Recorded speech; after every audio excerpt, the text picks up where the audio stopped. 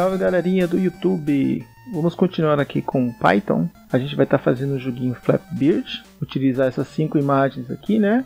O caninho, o piso, o cenário e duas imagens ali do nosso personagem. Vou colar ela aqui no nosso projeto. Pastinha IMG, tá com todas as imagens ali. Belezinha. Vamos criar um documento de tipo PyFile. Chamar ele de Flapbeard Primeiramente a gente vai importar aí a nossa biblioteca Pygame, biblioteca random para números aleatórios e vamos estar adicionando ali as variáveis aí para poder estar controlando os nossos objetos. Joinha, inicialmente vamos criar a nossa janelinha, colocando aqui a altura e a largura, né? Width e 8, 800 por 600. Uma variável chamada geover, vai começar com true, é o final do jogo, né? O game over uma chamada cair para verificar se o personagem perdeu, né? Se ele caiu o game, se o jogo está rolando ou não. Para poder fechar o jogo, vamos iniciar o Pygame aqui, pygame.init, a nossa janelinha, altura e largura, sempre, né? Vamos criar uma funçãozinha aqui de Python para poder manipular os gráficos. pygame.displayUpdate, atualizando aí o nosso display. Vamos colocar um delayzinho aqui de 10 milissegundos. O pessoal pode alterar aí a gosto. E vamos pintar nossa janelinha na cor azul, a cor do fundo do jogo. Já vamos criar aqui diretamente aqui o nosso controle, uma funçãozinha para controlar o personagem. Vamos estar acessando a variável geover ali, né, como global. Colocar aqui os nossos eventos para poder fechar o programa, pressionando X ou então apertando ESC, ela vai retornar false, então o game vai estar tá sendo fechado, ou então true vai continuar jogando, né? Vamos criar aqui o nosso laço principal, evocar a função pyth e a função control. Vamos testar aí. Belezinha, apareceu nossa janelinha azul. Agora a gente vai criar os nossos objetos, né? Vou chamar aqui de itens as variáveis padrões ali que a gente já fez várias vezes, né? x, y, w, h. Agora a gente vai colocar o visible, ela vai estar visível, img que vai ser a imagem e a janelinha ali, né? Que é o win. Vamos criar aqui a funçãozinha de show para poder mostrar os nossos objetos. Então, se o visible for verdadeiro, exibe o objeto, senão não exibe nada.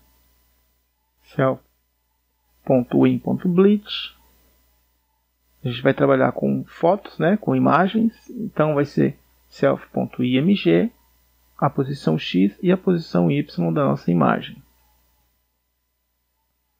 Belezinha. Vamos adicionar aqui a nossa primeira imagem, vai ser o nosso beard, né? Flap 0.png. Vou colocar logo todos de uma vez, né? O procedimento é o mesmo. Belezinha? Todas as imagens aí.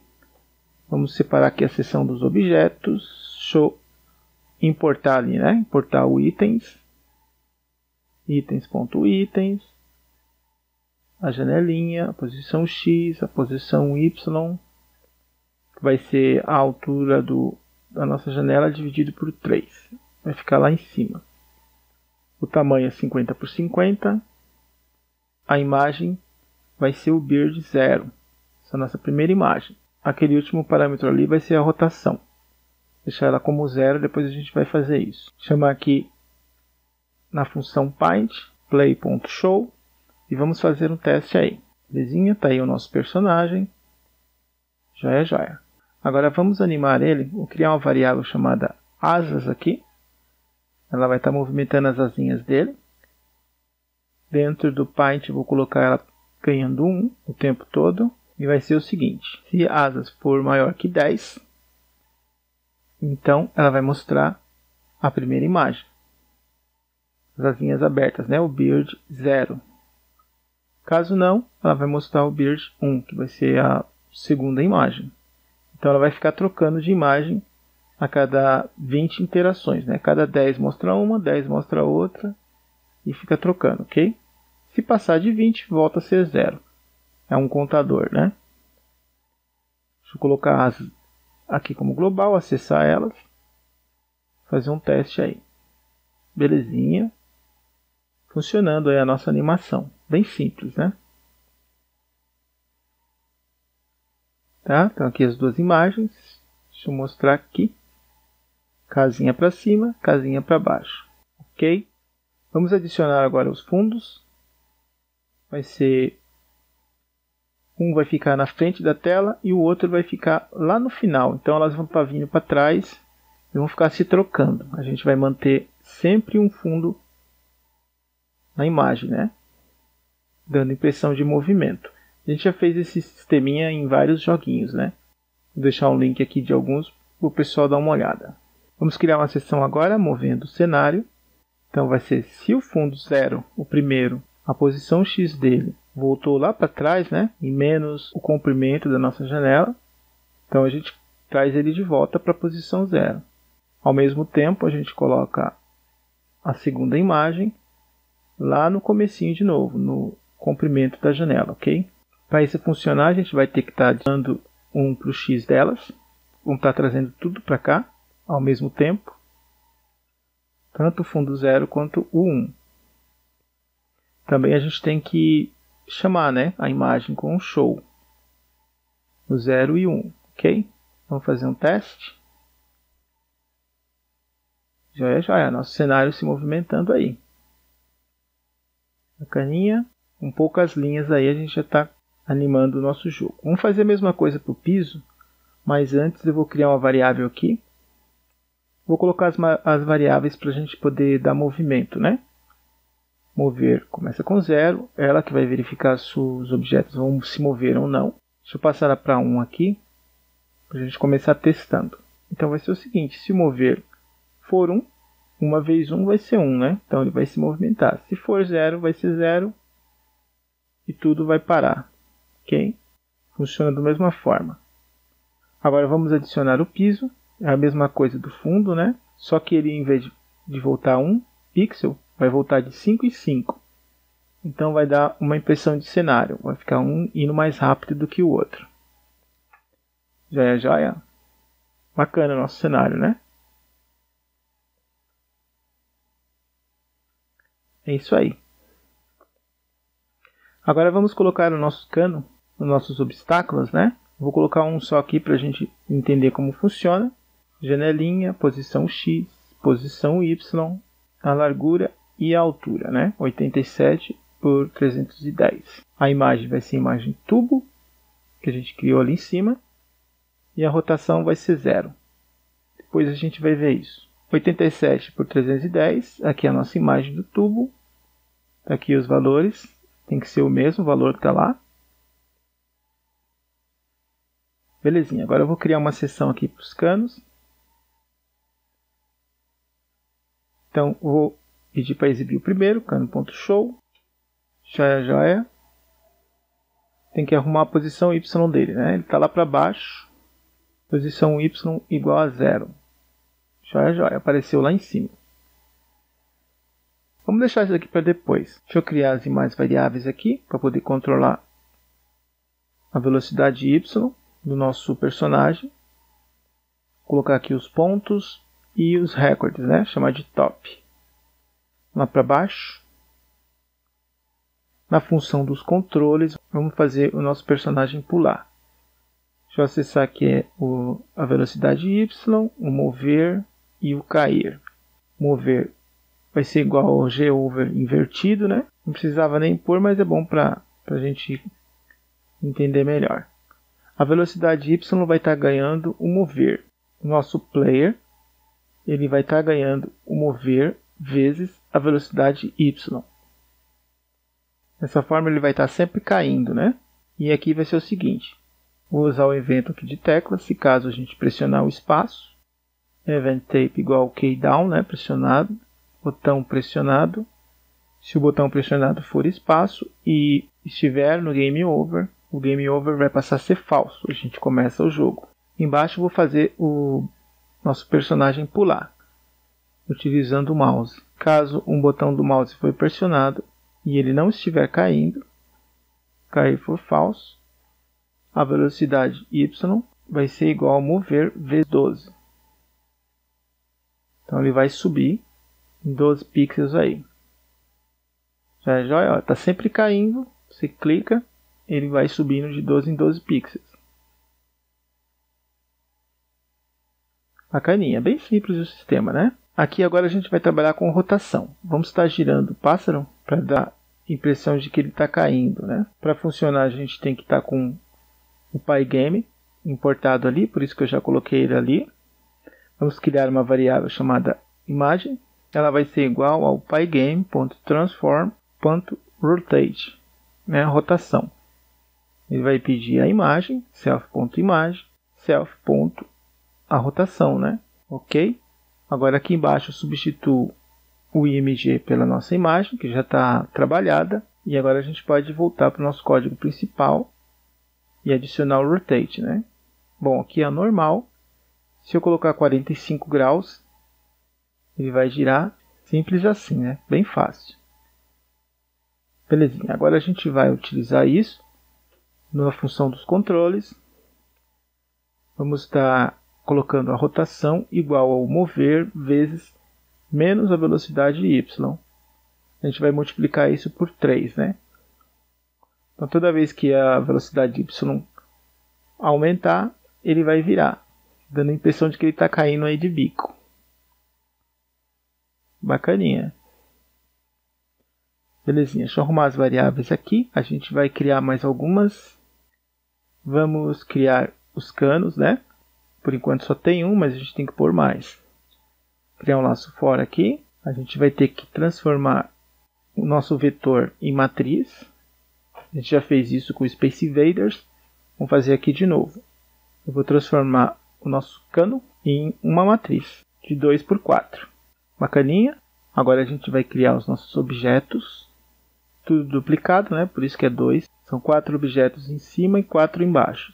Então, belezinha. Vou colocar primeiro o 0, que vai ser os canos de cima, e o 1, um, que vão ser os canos de baixo. A gente vai criar objetos, vão ser os mesmos objetos, são canos, né? Só vai mudar a posição.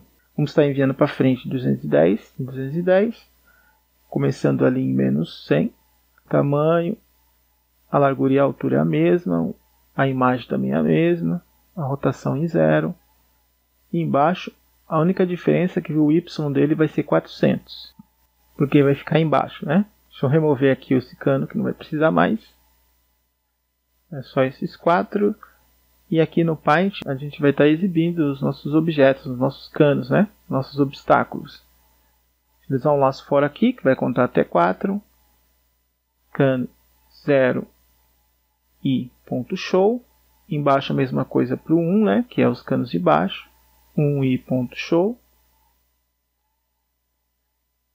Belezinha, vai exibir todos de uma vez.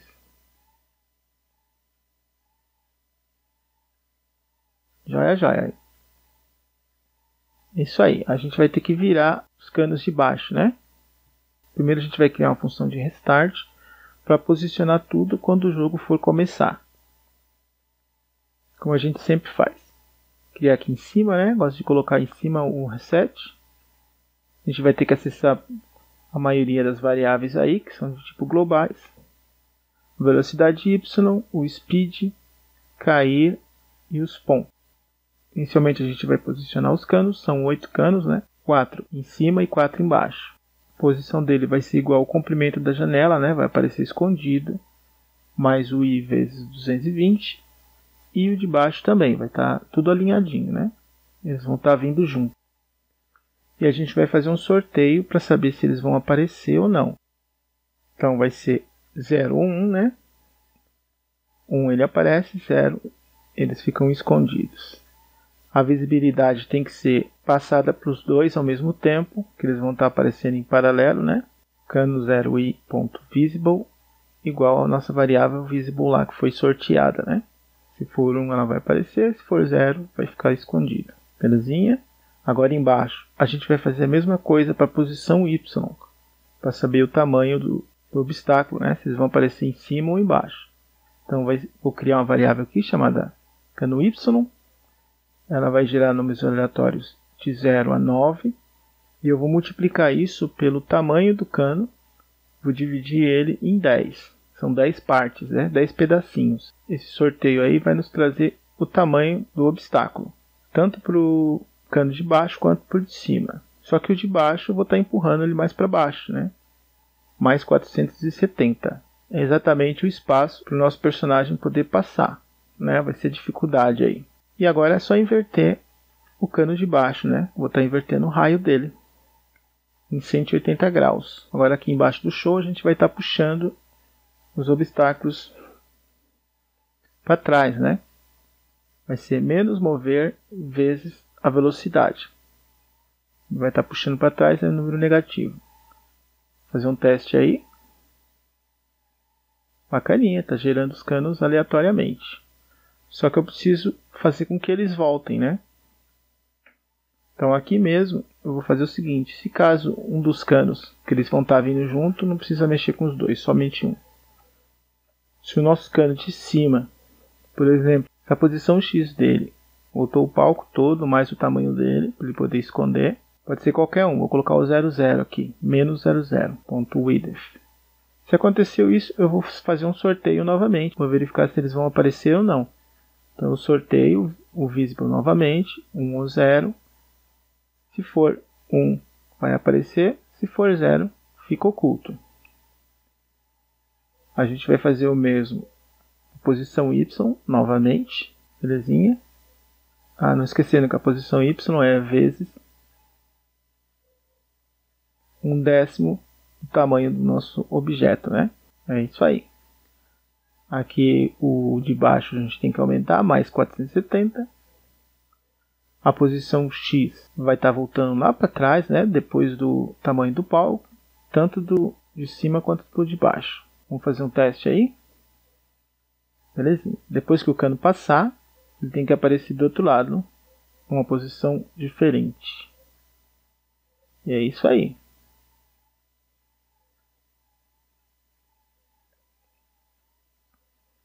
sistema aí de canos, a dificuldade já está pronto.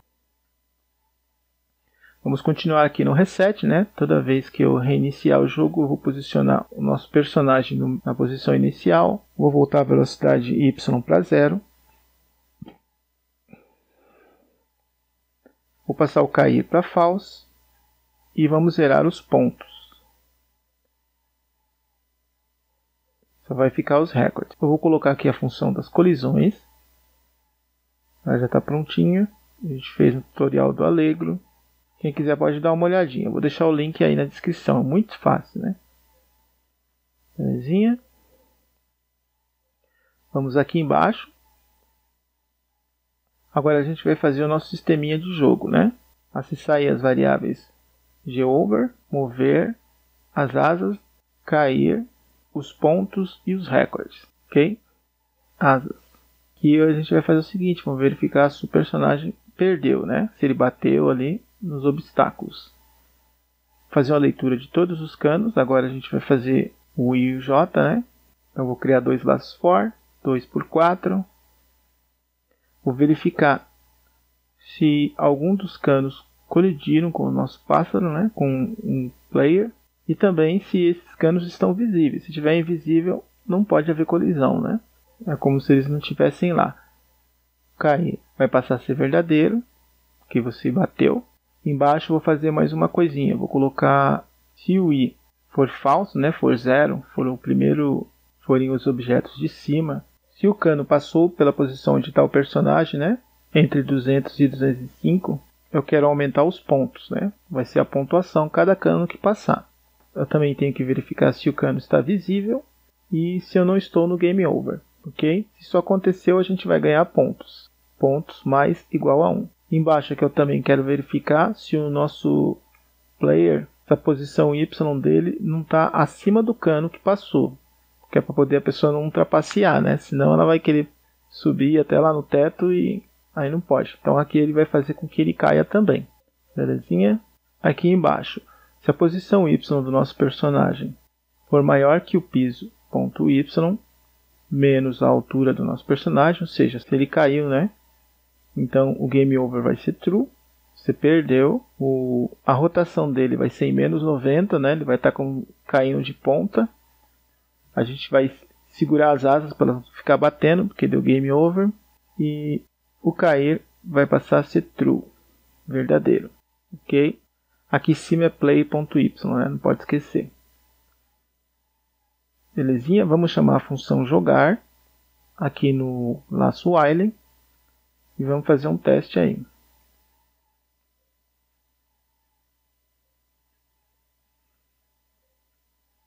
Belezinha. Lembrando que eu sou ruim pra caramba nesse jogo. Nem fazendo ele, porque eu fiz o personagem bem menor para mim poder testar, porque eu sou muito ruim.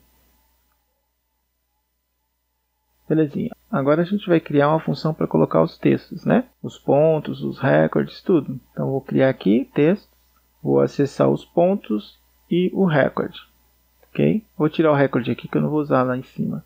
Vou usar tudo aqui embaixo mesmo. Bom, eu vou igualar os recordes, né? Se caso os pontos forem maior que o recorde, que é o top, o top vai ser igual aos pontos. A gente vai gerar um novo recorde, bem simples. Belezinha. Agora, se deu game over e o cair for verdadeiro, eu quero que exiba a plaquinha lá para você começar o jogo de novo, né? Então eu vou criar uma fonte aqui, pygame.fonte .sysfont. A gente coloca o tipo dela, né? Vou colocar aqui como Arial, o tamanho dela, vou colocar como 36, mais o parâmetro ali para ser negrito. Aqui embaixo eu vou criar uma caixa para a gente colocar o nosso texto dentro. Eu vou preencher ela com uma outra cor aqui. E agora a gente vai colocar o texto dos score, dos pontos, né? Fazer um teste para ver. Já é joia. Na cor bege com o preenchimento marrom. Vamos colocar também os pontos, né? PTS transformado ali em string. Já é joia. Agora a gente vai colocar o high score, o textinho. Toda vez que ele morre, né?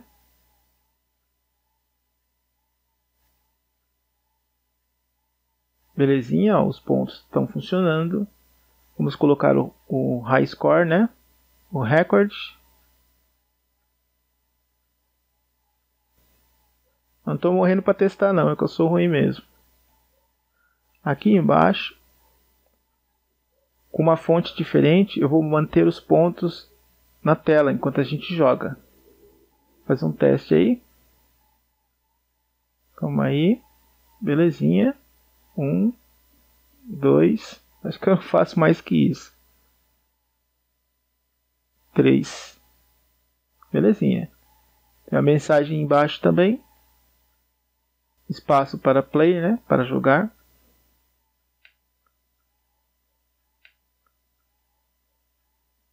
É isso aí. Se eu tentar passar por cima, deu ponto, mas também cai.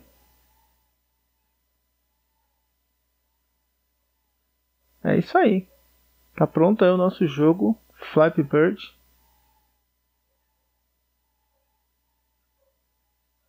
Bem rapidinho, né? O jogo é bem simples, poucas imagens, poucas linhas. Espero que o pessoal tenha gostado. O pessoal faça em casa. Vou deixar o link para os desenhos. Até a próxima aí, galera. Quem gostou, dá um like. Ah, sim, esse vídeo aqui é em comemoração aos 4 mil inscritos. Eu queria agradecer o pessoal aí. Obrigado por participar, por assistir aí os nossos vídeos. E até a próxima aí, galera, com mais jogos de programação. Valeu!